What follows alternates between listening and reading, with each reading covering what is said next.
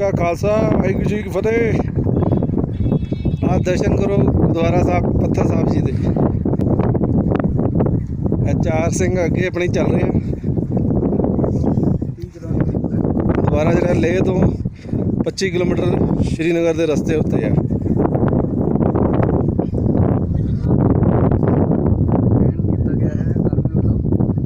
ਹੈ ਆਰਮੀ ਨੂੰ ਮੇਨਟੇਨ ਕਰਦੀ ਹੈ ਚੜ੍ਹਦੀ ਕਲਾ ਬਾਬਾ ਨਾਨਕ ਬਾਬੇ ਨਾਨਕ ਦੀ। ਤੇ ਆ ਆ ਤਪਸਥਾਨ। ਬਾਬਾ ਜੀ।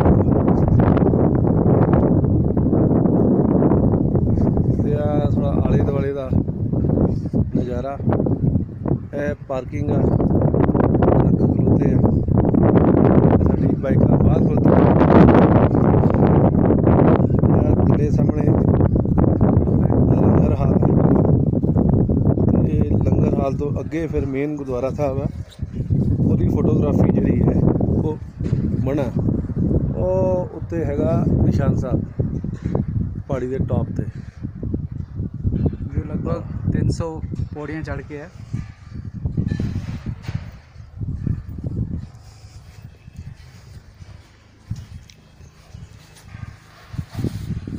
ਹੈਗਾ ਨਿਸ਼ਾਨ ਸਾਹਿਬ।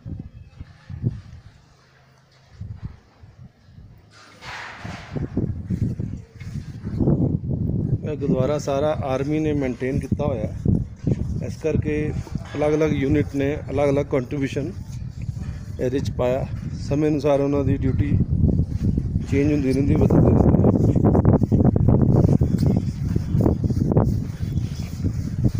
ਇਹ ਆ ਗਿਆ ਆਪਣਾ ਲੰਗਰ ਹਾਲ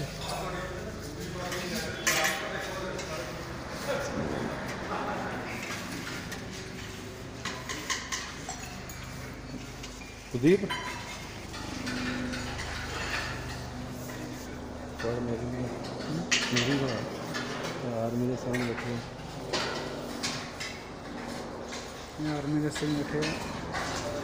बैठी हुई है।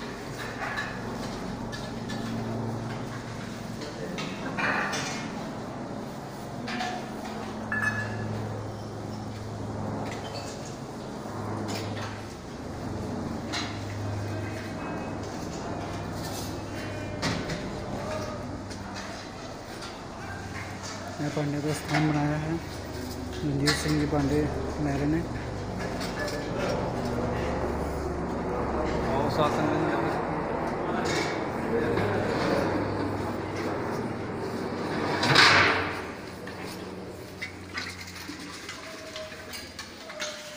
अपनी बैठी है।